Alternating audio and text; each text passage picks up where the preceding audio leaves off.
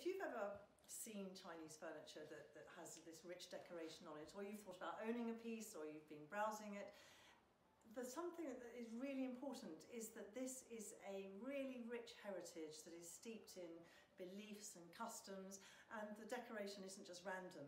It's um, it, it's all got meaning and owning a piece of furniture with, with some meaning to it is a really lovely addition to it and, and I think it's important that on our website but if people know why that decoration is there it, it suddenly adds to the, the meaning of the piece.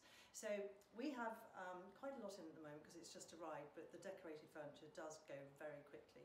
So I'm just going to highlight a couple of things that are very typical and traditional that are on some of the pieces we've got here.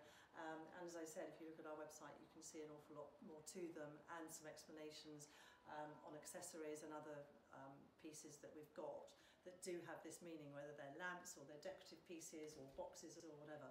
Um, so one thing that um, we have on the doors of cabinets is often this lovely decoration like we have here. And I'm just going to pick out a few pieces. So on this one, Um, in fact, on a couple of the doors there are some deer. Now, deer in Chinese culture are, are thought to live to a very long age, and that means that they represent um, longevity and long life. So they're, they're considered to bring that to that um, piece of furniture and to the, the meaning for the for the people that are um, owning it, um, along with these everlasting knots, which as it says, they're everlasting. There is no end to start or be end to them. So again, that is something that represents longevity. Moving along to the middle cabinet door here is a vase. Now the word for vase in Chinese is ping, which in um, a different tone also means peace. So the vase represents peace. Now if um, the vase has flowers in it, if it does, they're usually the flowers of the four seasons in Chinese culture.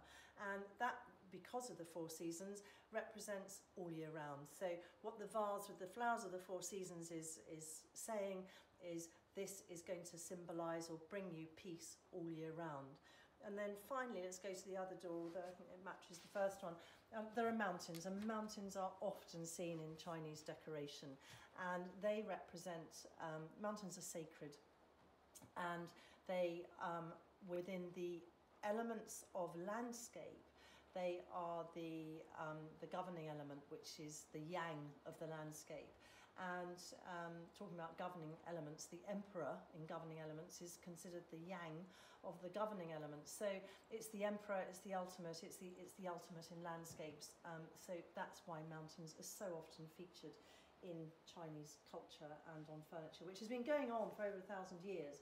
Um, it's always done by the um, the uh, village artists. So villages or a region or province will have an artist or some artist and they will they will design in the same way, they'll do the same patterns, they'll use the same features and they can often recognize furniture from a particular village because whether it's a cabinet or a, a, a table or whatever, it will have the same decoration on with the same meaning. So, so that's another lovely thing that they used to have a village artist um, to do this decoration.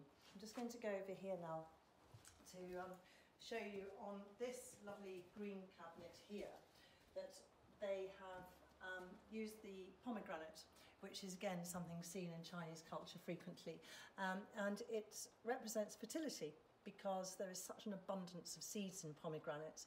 Um, so whether or not it was actually um, bought by people that were wishing for fertility or already had um, more children, um, and have proven it, I don't know, but um, it's certainly something we see a lot of. And they're such a lovely shape and um, quite a sort of tactile, pretty um, fruit. So um, something that again is seen frequently.